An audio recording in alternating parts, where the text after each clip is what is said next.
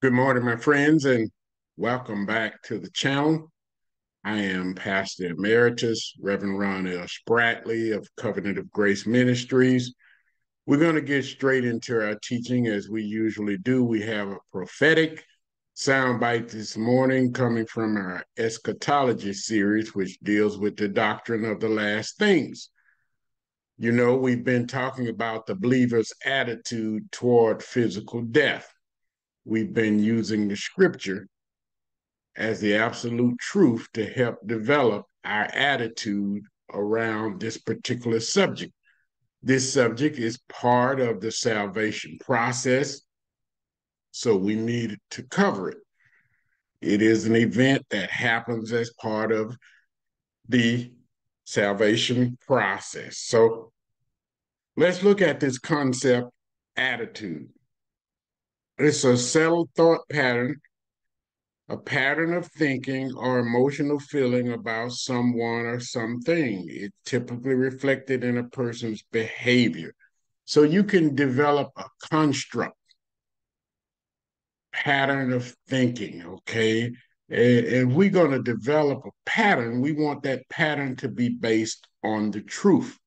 So, in our last teaching on the believer's attitude, we told you that the duration of life, the duration of physical life, was in God's hands. So, today we're going to be talking about physical death brings intimate communion with Yahweh in Christ. It brings communion with God in Christ. So let's look at our scripture as we continue to shape our construct or our thinking or our mindset around this. We're going to look at Luke 23, 39 through 45. And one of the malefactors which were hanged railed on him, saying, If thou be Christ, save thyself and us. But the other answering rebuked him, saying, Does thou not fear God, seeing that thou art in the same condemnation? And we indeed justly, for we receive the due reward of our deeds. But this man has done nothing amiss.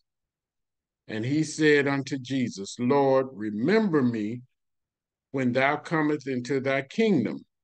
And Jesus said unto him, Verily I say unto thee, today, today shalt thou be with me in paradise. So we're establishing physical death brings intimate communion with God in Christ. So we see one of the guys who were crucified with Jesus, Jesus told him, Today shall thou be with me in paradise. So let's look at another scripture here. Physical death brings intimate communion with God in Christ. Acts 7 and 59. And they stoned Stephen. They stoned him to death. You've read the story. Okay. And they stoned Stephen. He was calling upon the Lord and saying, Lord Jesus, receive my spirit. That's his human spirit going into intimate communion with God in Christ. Let's look at our key principle. Second Corinthians 5 1 through 7.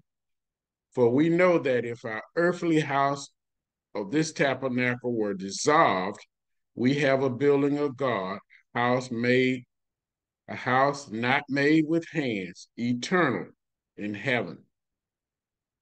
For in this we groan honestly, desiring to be clothed upon with our house which is from heaven. If so, be that being clothed, we shall not be found what? Naked. For we that are in this tabernacle do groan, being what? Burdened. Not for that we would not be unclothed, but clothed upon, that mortality might be swallowed up of life. Right? Okay.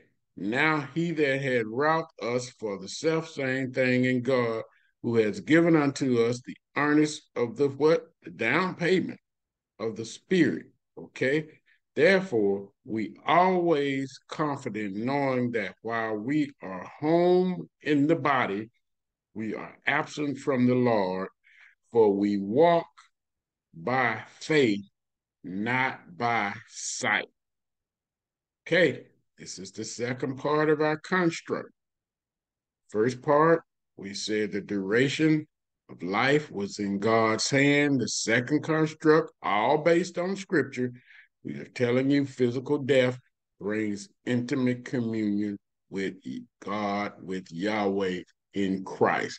So, with these teachings, we're shaping your mindset, we're shaping your attitude, okay? We're shaking your mental construct around this subject. We thank you once again for your time. May God bless you until we have the opportunity to bring you another word from God. Be blessed, my friends.